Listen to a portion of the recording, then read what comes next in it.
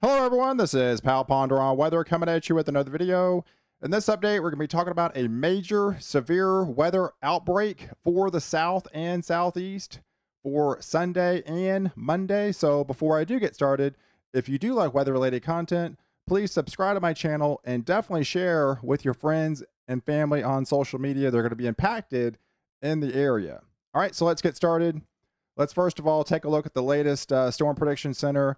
They have actually upgraded the level four moderate risk severe weather threat overnight.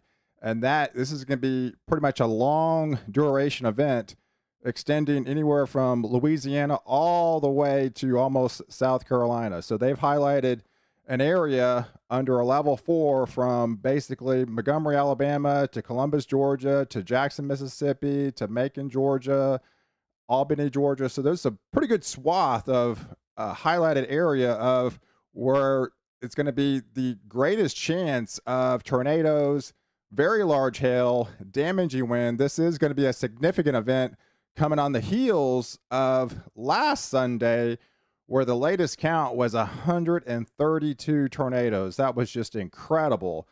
But they've actually backed it up over Texas overnight. So this does include parts of the Dallas Fort Worth area now under a slight risk and an enhanced risk for East Texas. So we're going to be under the gun for the next uh, basically 24 to 36 hours, essentially from Texas all the way to the to the Carolina coast. So this is definitely going to be going to be a significant event that is coming up for the South and Southeast. So let's more or less delve into the details. Um, they've got the Storm Prediction Center has a tornado watch that should likely be issued for parts of East Texas and Southeast Texas. That would include uh, the Houston area, much of the much of Southeast Texas, uh, East Texas, extended into Louisiana. So this is going to be the favored area. We're watching a developing uh, strong disturbance this morning uh, coming in, and that's going to be kicking off a round of shower and severe weather uh, for later this morning and into the afternoon. That would include very, large hail, uh, damaging winds, and an isolated uh, tornado threat. So definitely, I'm expecting our tornado watch going to be issued in this area over the next hour. So if we look at the latest uh, composite uh, radar, it basically implies that we're going to be getting those sh- showers and thunderstorms. The dry line is going to be moving in. There's a there's a, a cool front that's going to be moving in on the back side but out ahead of it, it's very warm, deep tropical moisture that's going to be kicking off and plenty of fuel for these thunderstorms. Going to be kicking off isolated supercells. So basically, anywhere from Dallas east. Now, they did include a slight risk for Dallas. So after this line essentially moves through, there could be an outflow boundary that's that leaves behind along with this cool front. So we might have a second round and that's potentially a severe round for uh, the Dallas Fort Worth area extended eastward as this moves on. It gets really cranking uh, for the south and southeast uh, later on today. So if you take a look at the latest uh, CAPE values, the, the convective available potential energy in the atmosphere, it kind of shows that second round after the first round that there's going to be maybe uh, energy in the atmosphere is going to regenerate itself uh, to produce another line of showers and thunderstorms. So this is a conditional risk up north, further north for DFW, but down south, it's it's pretty li- li- likelihood that you're going to be seeing some stronger th- stronger th- thunderstorms, especially with CAPE values going off the charts here, four to five thousand. So that's pretty rare to see. So definitely be going to be under the gun uh, later on this afternoon into this evening in uh, southeast Texas. And this will only get uh, enhanced as we move on to the east overnight. Now, if you take a look at the the, the latest uh, significant tornado parameter indexed, it, it shows that it's really getting going this afternoon. So as as we have a warm front, and I'll show you here in a little bit, as we have a warm front lifting uh, from the Gulf. Plenty of fuel to fire these thunderstorms. Dew points in the low 70s. And as that cool air starts marching in to this uh, area of the country, it's going to be kicking off those showers and thunderstorms.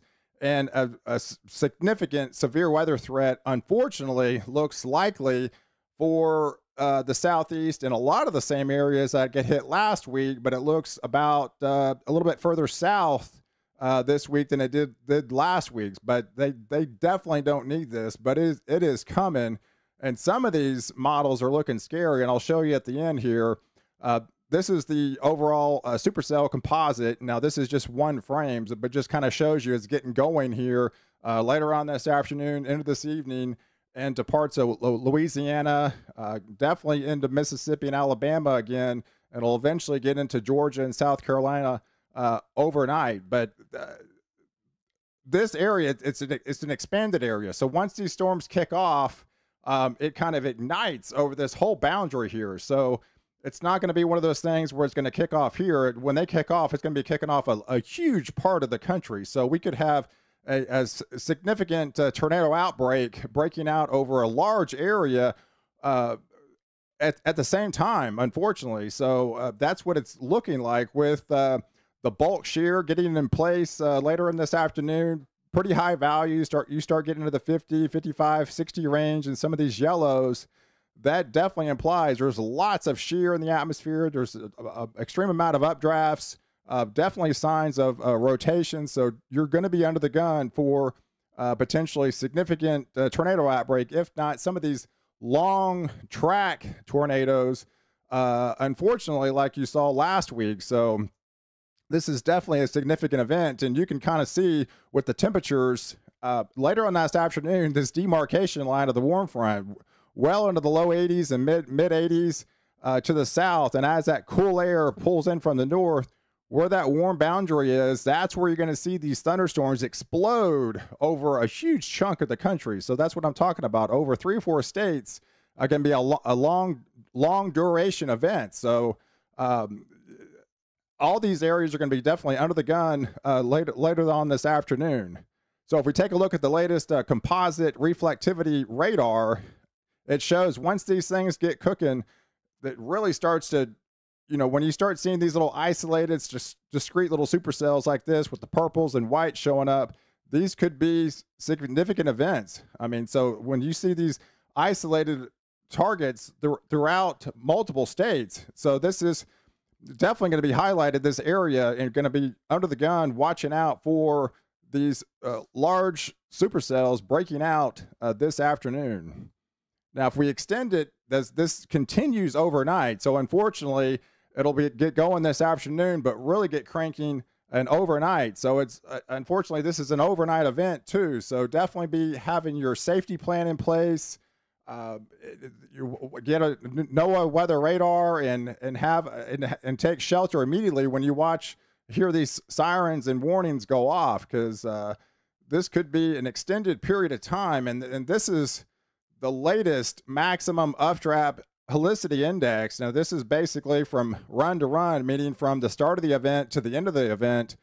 And this is scary, folks. I mean, when you start seeing stuff like this on models extending from East Texas all the way to the coastline of the Carolinas and having these little long duration uh, drafts, these elongations of, of uh, the winds converging, uh, this basically implies that this is this could a significant uh, tornado outbreak and long duration track tornadoes. So this is something you don't want to see on radar, and and unfortunately, uh, it's only being enhanced in every every uh, update. So it, it definitely looks like something you know significant is going to be happening th- uh, this afternoon into this into this evening. So I wanted to make you aware of you uh, of that out there. This is going to be a, significant event, so definitely be uh, have have your weather weather radar available and with all the watches and warnings, and take this event seriously.